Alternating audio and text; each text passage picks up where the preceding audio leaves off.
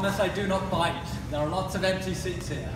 Um, the first thing I'm going to say is a huge thank you to invite, for inviting me to a place that honestly fills me with just absolute joy. I can't think of coming into a bookstore and seeing more books that make me happy um, and more thinkers that make me happy. So whether or not these seats fill up, I'm already extremely happy in my heart to be here.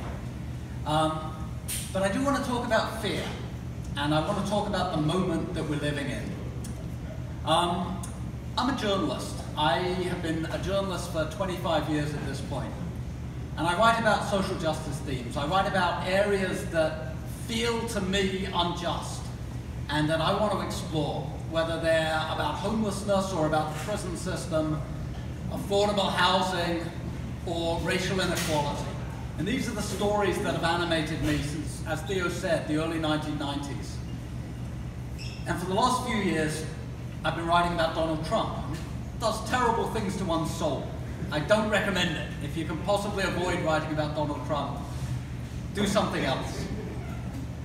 But I wake up most mornings and I'm absolutely astonished by where this country has ended up. I'm absolutely astonished when I hear these news headlines about the level of demagoguery and the level of political opportunism and the willingness to stoke any and every fear for short-term political advantage.